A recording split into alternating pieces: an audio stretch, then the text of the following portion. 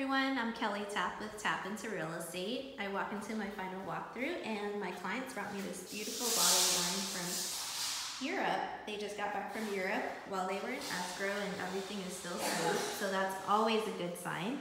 And I'm glad that they were able to get everything done while they were overseas through DocuSign and through our great team. So I do appreciate everything that the team has done.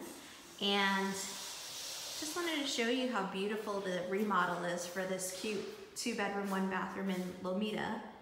You can see the arches kind of flow throughout the house with the doors and the windows.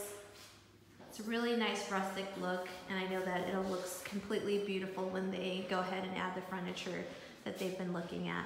So they're planning to close at the end of this month and we may be able to close early so I look forward to opening this bottle and celebrating with them. Remember, tap into real estate with Kelly Tap.